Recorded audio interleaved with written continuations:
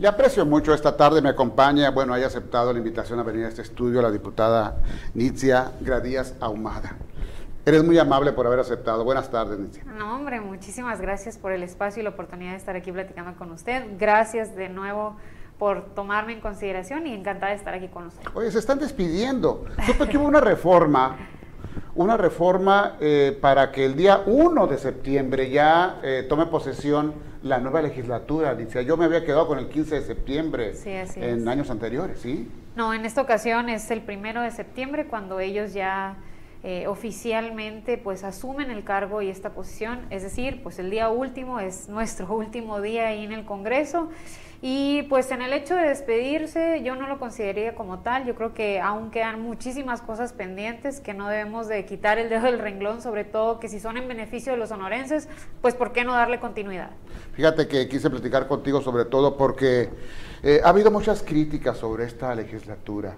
De manera muy especial nosotros nos preguntaríamos como sonorenses, perdón, nos preguntaríamos, bueno, ¿qué, le dejan a los sonorenses? Eh, ¿Cuál ha sido la agenda? ¿Cuál fue el cambio sustancioso? Hay un antes y un después, pero en el caso de, de Nitzia eh, Gradías, este, eh, yo vi que hubo varias iniciativas y que varias pasaron por tu parte. Yo quisiera que me dijeras entonces, pues para ti, ¿qué fue lo más trascendente? ¿Qué nos dejaste?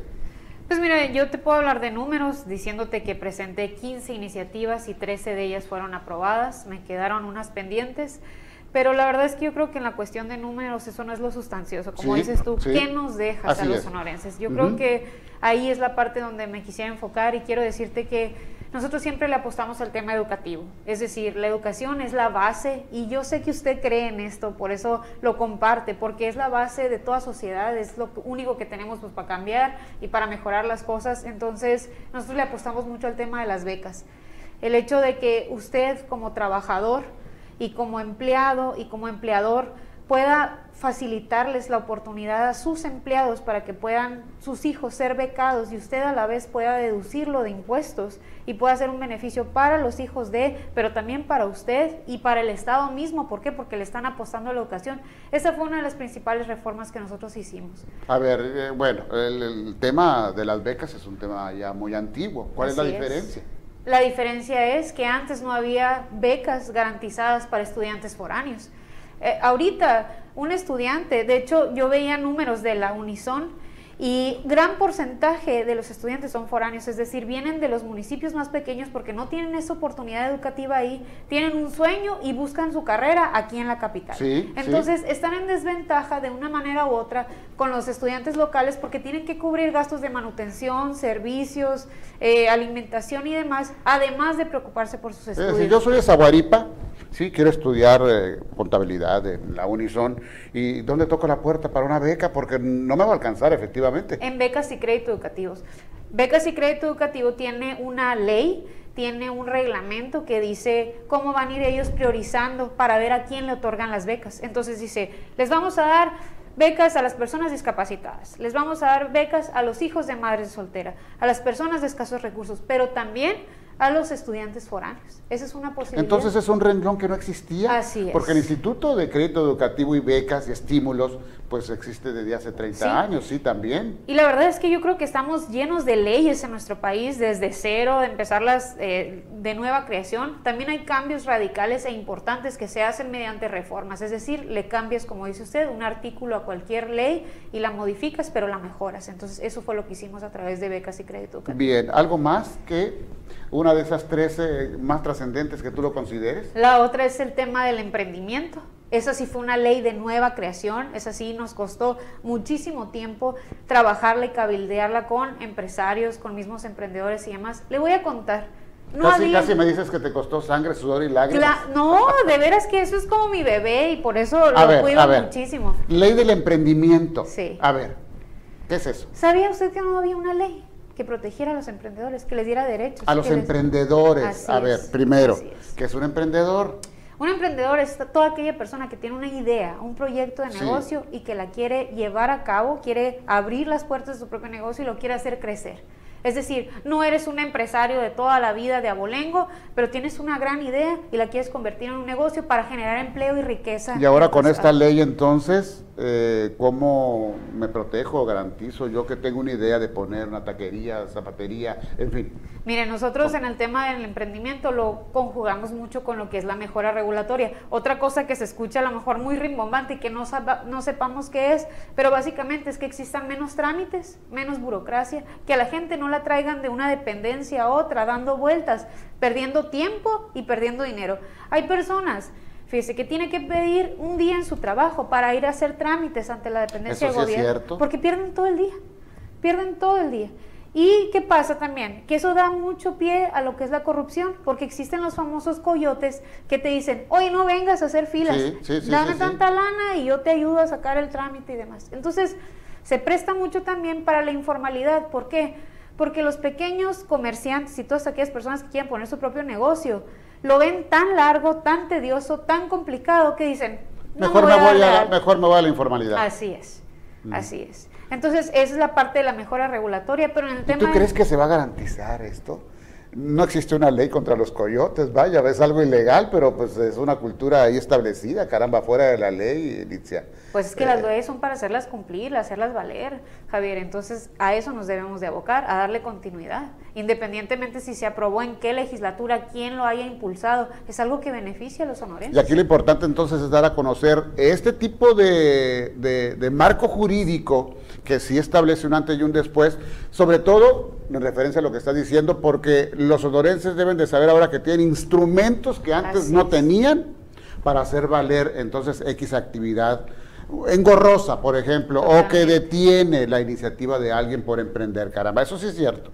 Eso sí es cierto. ¿Qué más, eh, diputada? Y otra de las cosas es que eh, la ley de emprendimiento es, es muy diversa, es decir, incluye muchas dependencias. Habla desde la educación, cómo desde las escuelas necesitamos modificar planes de estudios porque no sé si usted sepa y recuerde, pero yo creo que al menos yo, yo estudié negocios internacionales, se lo digo por experiencia propia.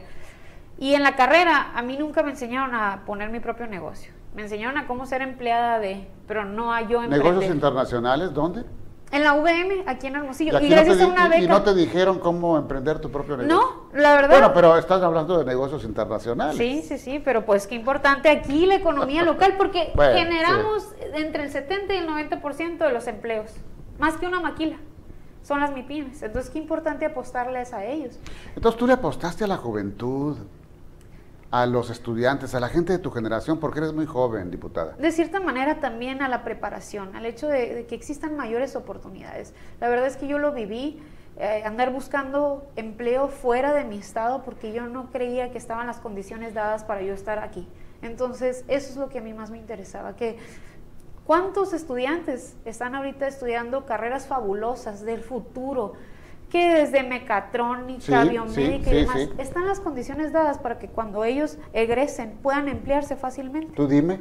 No, no lo están, porque no le apostamos al tema de la ciencia y la tecnología, no lo vemos como prioritario, lo vemos como algo de futuro, pero no es algo de futuro, es algo que necesitamos ahorita invertirle para ser competitivos en un futuro. Para Tampoco nos seguimos tanto en la agricultura y ganadería solamente, ya llegó la industria aeroespacial y precisamente el día de hoy ya inició su planta aquí a Amazon en Hermosillo. Es. decir, hay un viraje rumbo a la, a la rama industrial. Yo creo y gracias a Dios, mire, dentro de lo malo, lo bueno, yo creo que la pandemia vino a forzarnos, ¿no? A sacudirnos, a tener que voltear a ver los beneficios de la tecnología. Ahorita desde tu casa tú puedes emprender, puedes estudiar, puedes trabajar, puedes hacer muchas cosas. A través de la laptop. Cosa que antes no, no sabíamos que podíamos hacerlo desde casa. Ahora, eh, eh, hace unos días vi que... Eh, tenías el bate en la mano eh, en, un, en un campo deportivo en tu tierra, allá en Cananea. Así Y tú lo estabas inaugurando. Creo que fue una gestión tuya, un campo de béisbol ahí. ¿Qué es eso? Sí, sí, sí. Pues mire, yo soy muy apasionada de este deporte, pero la gente de mi pueblo es aún más. Pero sobre todo... Eh, el hecho de contar con espacios deportivos. Ahorita usted sabe cómo está la cuestión de la delincuencia, la inseguridad, entre otras tantas cosas. Entonces, ¿qué hacemos para que nuestros jóvenes estén utilizando su tiempo de una manera más sana y, pues que estén conviviendo familiarmente los domingos. Quisiera, de ver, lo voy a invitar después a un juego de béisbol, de softball. Allá en Cananea. Allá en Cananea, un domingo. Se va a encontrar todo el pueblo ahí. Todo el mundo. Y es un solo espacio. ¿Cuántos habitantes tiene Cananea? 35 mil. Oye, ¿le cumpliste a tu distrito? Es decir, es Cananea, es Agua Prieta, es Naco y es Frontera. Y es Bacuachi. Bacuachi, me faltaba Bacuachi. Sí, sí, sí. Cinco municipios. ¿Le cumpliste? ¿Tú crees que le cumpliste a tu, a, a quien te llevó? Pues mire, yo le voy a decir algo y le voy a ser muy franca. Yo soy diputada plurinominal. Sí. Pero eso no me exime de querer Sí, trabajar pero tienes con una, una región. representación, claro. Así es. Yo soy originaria de aquí de Cananea y yo sabía que ese era un gran reto para mí, el hecho de que a lo mejor la gente no me conociera, pero aún así yo darme a conocer, no por lo que yo pudiera decir de mí, sino por mis hechos y mis acciones ante ellos. Entonces, sí, me enfoqué mucho en el Distrito 7, para serle muy franca, y sí estoy convencida de que ayudé. ¿Por qué? Porque de inicio, eh, aparte de las leyes, tú cuando vas con las personas te dicen, oye, pero están muy padres tus leyes, pero ¿qué me estás ayudando a mí? ¿Qué me estás trayendo tú a mí ahorita? Y allá en los pueblos chicos, Javier, lo que sucede es que muchas veces pensamos que los programas tan padres y tan beneficiosos siempre están en los municipios más grandes, siempre están acá en Hermosillo. No baja para allá, no derrama para allá. Entonces lo que yo me Sí, encargué... como que los convierte en sonorenses de segunda o de tercera, ¿no? Y no lo son, Claro. no lo son.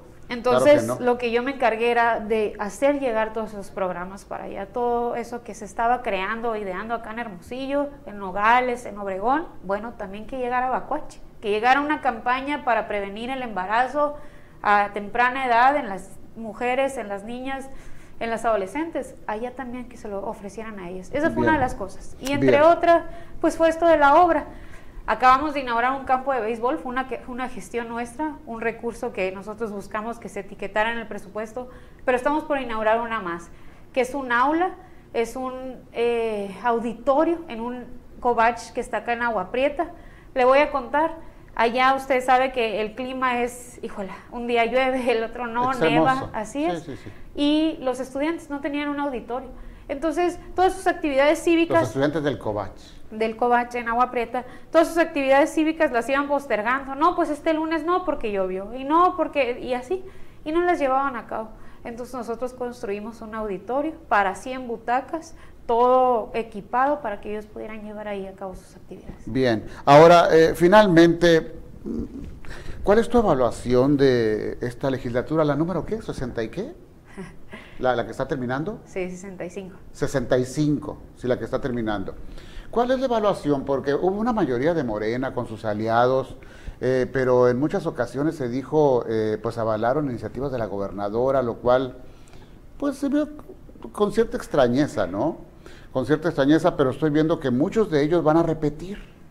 Inclusive la coordinadora de Morena, Sí, Restina sí, Castro, repetirá como coordinadora inclusive. Eh, ¿cuál, ¿Cuál crees que sea el sello final de esta legislatura número 65? ¿Cómo, cómo la calificas? Yo puedo hablar por mí, yo no puedo juzgar a mis demás compañeros, pero para mí esta legislatura fue de mucho aprendizaje, fue de mucho crecimiento, fueron de muchos retos, fue una nueva composición, nunca habíamos visto que se dieran eh, las conformaciones de las bancadas de la manera en la que se dio en esta legislatura. Por eso te digo, fue un reto enorme. ¿Por qué? Porque yo nunca había sabido de la presencia y la mayoría de Morena en un congreso aquí en nuestro estado. Y la verdad es que fue eh, estar trabajando diariamente, estar conciliando. Yo pudiera decir, híjola, pues ellos tenían la mayoría, entonces nunca iba a pasar una iniciativa mía, Sí. pero pasaron 13. Entonces, algo bueno tuve que haber hecho, de tal 13 manera de 15. de 15.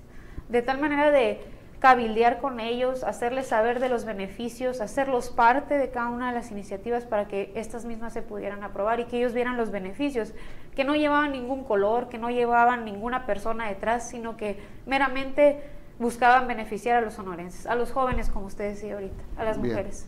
Bien, Nitzia Gradías, yo te aprecio mucho que hayas venido esta tarde aquí a este estudio de primera plana. Muchísimas gracias a usted por el espacio y la oportunidad. Bien, bueno, yo voy a hacer un corte, sí regreso, hay más noticias, por supuesto.